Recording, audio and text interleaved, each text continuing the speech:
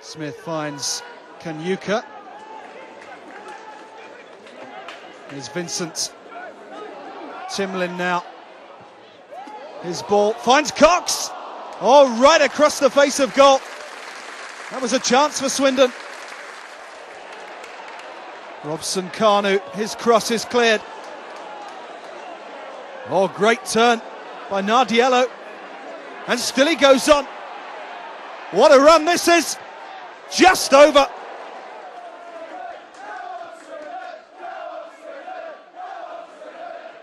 Peacock couldn't win the header, fell for McNamee.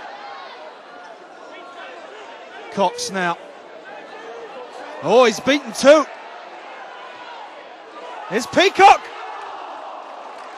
Lee Barrett with the save. And another chance goes begging. Henderson will be the target for this long throw. Oh, it's straight up in the air. Won it though, Henderson.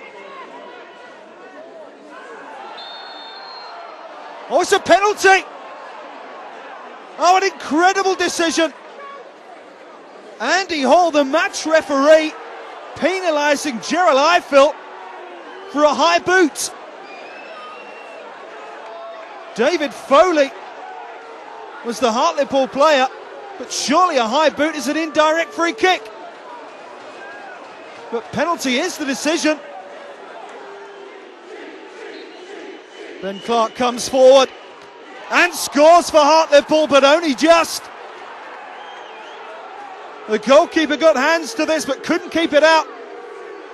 And with only seconds left in the game, Hartlepool are surely on their.